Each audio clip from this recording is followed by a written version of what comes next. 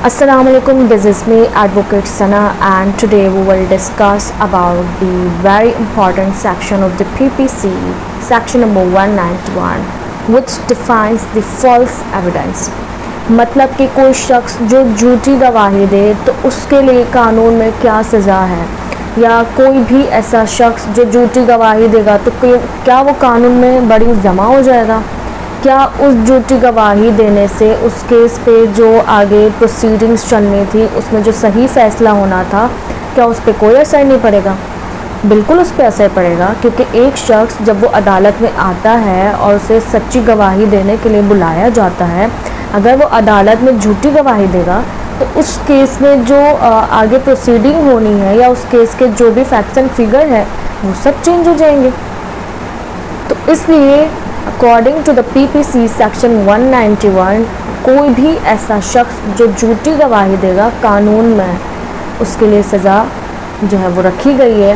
और झूठी गवाही देने वाले के लिए एक जो है सख्त किस्म का कानून भी रखा गया है।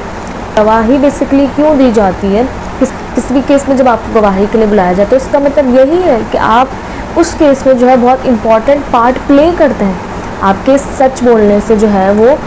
किसी बेगुनाह की जान बच सकती है, किसी बेगुनाह को सज़ा होने से बच जाता है वो। और आपकी गलत गवाही देने से वही वही बेगुनाह जो है, उसको सज़ा हो सकती है। तो इसलिए कानून में सेक्शन 191 पाकिस्तान पिनल कोड में झूठी गवाही देने के लिए जो है कानून रखा गया है और 193 पाकिस्तान पिनल कोड के तहत जो भी शख्स कानून में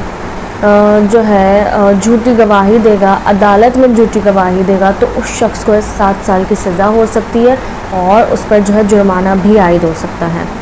तो इसलिए ये बहुत ही important part of the case होता है कि आप जो है, जब आपको अदालत में बुलाया जाए तो आप जो है, आप एक्चुअल जो फैक्ट्स एंड फिगर है, आप उस केस में जो भी जानते हैं तो आप सच का साथ दें और सच बोलें।